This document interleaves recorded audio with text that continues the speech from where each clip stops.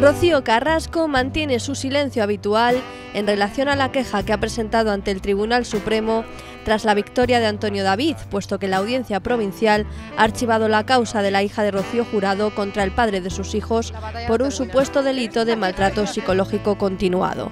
Tampoco ha querido comentar nada sobre la demanda que sí ha sido admitida a trámite contra Olga Moreno por un supuesto delito contra el honor. Más habladora ha estado, sin embargo, respecto a la voz de su madre en el himno de Andalucía. Precioso. Eso sí que nos tienes que contestar, porque desde luego Rocío Jurado está presente siempre y ahora cantando ese himno. Sí, eso es precioso. Conociendo todas las preguntas que le iban a hacer sobre su vida y la relación con su familia, Carrasco se lo ha tomado todo a broma y se ha limitado a intercambiar risas junto con Fidel Albiac y Anabel Dueñas.